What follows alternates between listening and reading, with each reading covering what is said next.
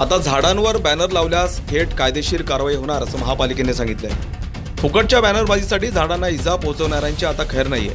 अशा फुकट्यांवर थेट न्यायालयीन कारवाई करण्याची तयारी महानगरपालिकेने केली असल्याचे संकेत मिळत आहेत अशा जाहिरातबाजीची माहिती देण्यासाठी पालिकेच्या अनुज्ञापन विभागाने वृक्ष अधिकाऱ्यांना पत्र पाठवले. आहे मुंबई उच्च न्यायालयानं दोन हजार दहामध्ये विनापरवाना बॅनर्स पोस्टर लावणाऱ्यांवर गुन्हे दाखल करण्याचे आदेश दिले आहेत महाराष्ट्र विद्रुपीकरण प्रतिबंधक कायदा एकोणीसशे पंच्याण्णवनुसार हे गुन्हे दाखल केले जातात.